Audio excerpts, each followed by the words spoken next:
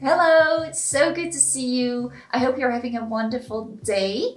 And today I actually want to show you something because I have been very kindly sent um, something that I want to show you. Let's just dive in. I wear wigs on a daily basis. This is actually a wig and um, that is because I have alopecia. But obviously it's fine for anyone to wear wigs because how fun is it to try different hairstyles and colors and lengths every day? it's great, right? So um, for anyone who is interested, I'm going to be unboxing a wig today. It's actually going to be a, a big change for me because I chose a dark wig, whereas usually I wear blonde wigs because that is a safe option for me because it complements my complexion as long as it's a cool tone blonde. But I, I don't know, I was, I was feeling like trying something different um, I actually have had this darker hair color in my teen years. Uh, I used to rock a really dark brown, almost black, which did suit me because it was also a cool tone. So I'm hoping this wig will suit me just as fine. Let me just go grab it real quick. So it arrived in this adorable pink box. Oh, the tag is right here. So it's by this company called Hairvivi. Um, they actually used to specialize in wigs for black women um, because obviously wearing wigs is more um, accepted in black culture and I think that's awesome. But because Hairvivi wants to branch out to uh, suit Caucasian women as well, um, they introduced this line of transparent lace wigs that suit uh, lighter skin tones. So this is one of those transparent wigs and I'm really, really excited to see what it looks like. So let's just open this baby up, even though it hurts to mess up this ribbon. But what's inside is even better. All right, here we go. Hold on. Getting there. There we go. Okay, okay, they're keeping it very mysterious. So let's go for a little sneak peek. Okay, gotta get this one. Oh, cute! It's in a bag. That's great because it protects the wig and I can store it in this bag. So that's great. Oh, there's also some goodies in here. So let me just put the wig aside for now and look at what else is in here. Their logo is also on these bags. It looks really cute. It says Hairvivi. And this is, oh nice, it's a rat tail comb.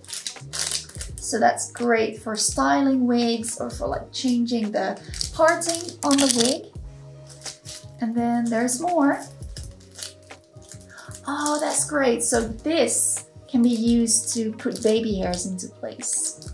Oh, cute. So there's some hair clips, which is nice for styling purposes. And then there's also, oh, a tweezer. That is great because if you're uh, familiar with wigs, some people like to pluck the hairlines to make it more um, realistic looking. Now, let's look at the wig. So it comes in this bag, it's beautiful. It's like a very blushy, powdery pink.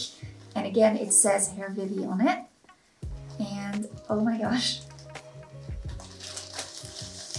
Here she is. So like I said, it's a very dark wig.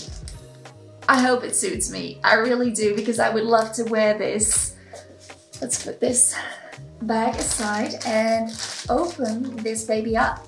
Okay, so here she is. This is so exciting. Oh, wow.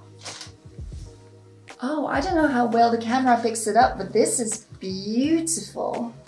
Maybe it just has to focus a bit better. Look at that. That is silky soft. The thing about Hairvivi is that their wigs are actually really, really affordable. They cost like less than half of what I pay for other kinds of wigs. And they are human hair, so that's great. And this is the transparent HD lace. I'm not sure how well it shows up on camera, but I will show some close-ups later as well. So this is what the lace looks like. And the hairline, as you can see, is very um, thinned out, which uh, helps to create that really realistic hairline. That is amazing. And the parting as well. This is what it looks like on the inside. Let me just fold it like this. So this is the hairline. This is the part that sits on the forehead. And then what makes these wigs amazing is the fact that they have this skin-like uh, layer right here. So that makes sure that the parting is going to show skin. Well, it's not real skin, but it looks like skin. So nobody is going to clock this wig because it looks so real. And then this is the part that goes on the back of the head, which is the part where the hair is wefted. So you can see all these different kinds of wefts. And then it also comes with this elastic band, which I am a fan of. I've had a wig before that had this elastic band and it really helps secure the wig, which is great. It's a great feeling when it's like nice and snug on your head. And then here in the back is another part that lets you adjust the size of the wig. And this is a size S, which I picked because it's 21 and a half inches, which is my size. So from my hairline across the nape of your neck and then all the way back to your hairline, for me that's 21 and a half inches, which is an S. You know what? I think it's time to put this baby on. Let's do it like how the cool kids do it on TikTok, okay?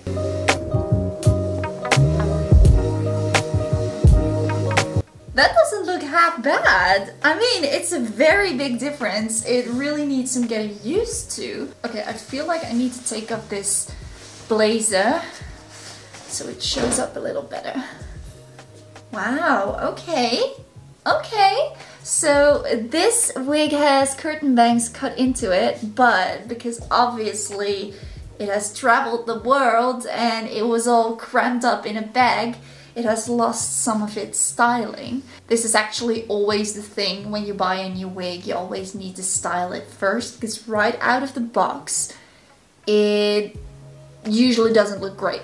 Okay, this hairline is unreal. I mean, it's so real, it's unreal, you know what I mean? Like, oh, that's great. So this is what transparent HD lace is like. And as you can see, I'm not wearing a wig cap. I'm just wearing my own hair underneath, which is also pretty dark because it's like a light brunette. So it's definitely darker than the color that you see here, but it doesn't show because there's this extra layer of like skin color. Let's see if I can do a ponytail. Because it looks like this hairline might work well with a ponytail. Okay, so I don't like using wig glue because I don't like the feeling of it and I don't like the fact that my lace gets so dirty. But maybe, maybe just the sideburns could use some glue. But up here, I don't need any, not even when I pull it up like this. Like, I could wear this in a ponytail.